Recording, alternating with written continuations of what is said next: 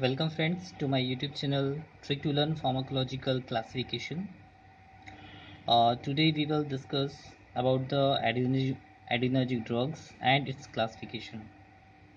So friend, we'll start the classification with the categories of the drugs. As you can see, the categories like first one is CNS stimulant, second one is pressure agent, third one is nasal decongestant, next category is cardiac stimulant. Next one is bronchodilators. Next anorectics. And last one is uterine relaxant. Okay? So uh, first of all we have to memorize these categories. Then we go for the drugs belongs this category. Okay? So for memorizing this category i have already uh, drawn a diagram by which we can easily understand and memorize the category of the drugs. So this is uh, this one is a diagram. Here you can see on the first number there is a brain which is a part of the CNS okay? I correlate this brain with the CNS because the brain is a part of the CNS so the first number is brain second there is a pressure agent. Third one is here is nose. So the term is nasal. Fourth one is heart. I use the term here cardiac. Okay? Fifth one is bronchi. Sixth one is stomach. Okay? And I correlate it with the term anorectics anorectics these are the agent which cause the loss of appetite. Okay and last one is the seventh that is uterus.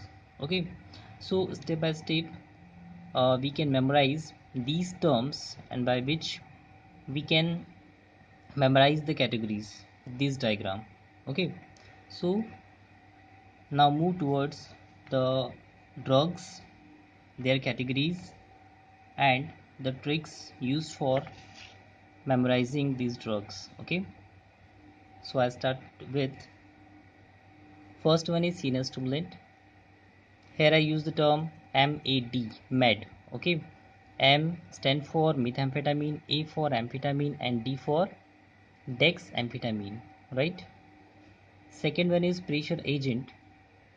In the pressure agent, we can say uh, Matthew may take Fanny in Dan. Okay. Matthew may takes Dan. Matthew Matthew stand for methoxamine. Me that is mephentermine. Fanny okay. Fanny for the phenylephrine and then DEN. D stand for dopamine, E for ephedrine and N for noradrenaline.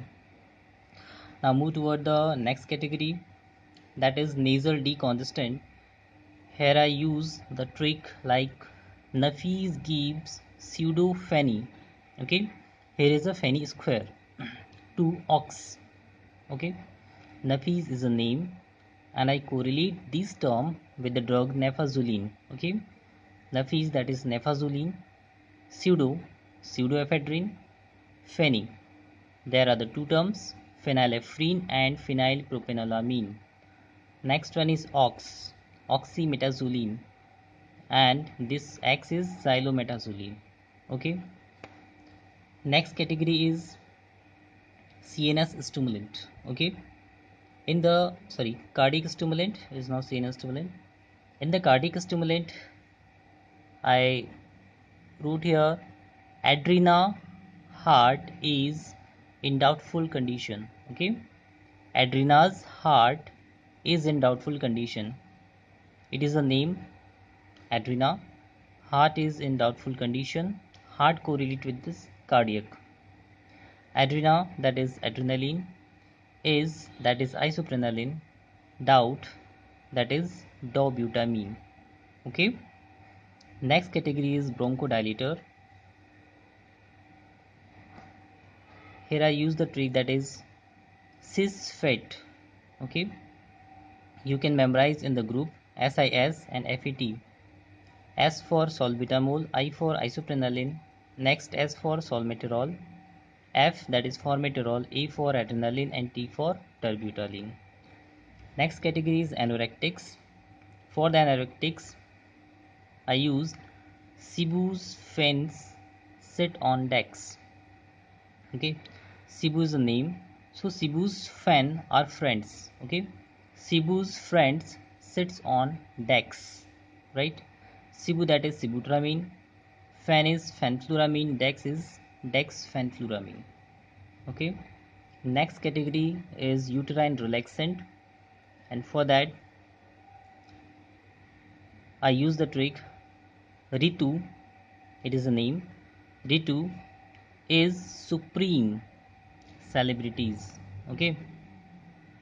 Ritu is supreme celebrities. Ritu that is ritodrine is supreme that is isoxsuprine celebrities celeb okay? Here the pronunciation is celeb that is salbutamol, and last one is TIES tease that is T for terbutaline. So friends with the help of these tricks you can easily memorize the category of the drugs and the name of the drugs okay so if you like these tricks so please share and like the video and subscribe the video. Thank you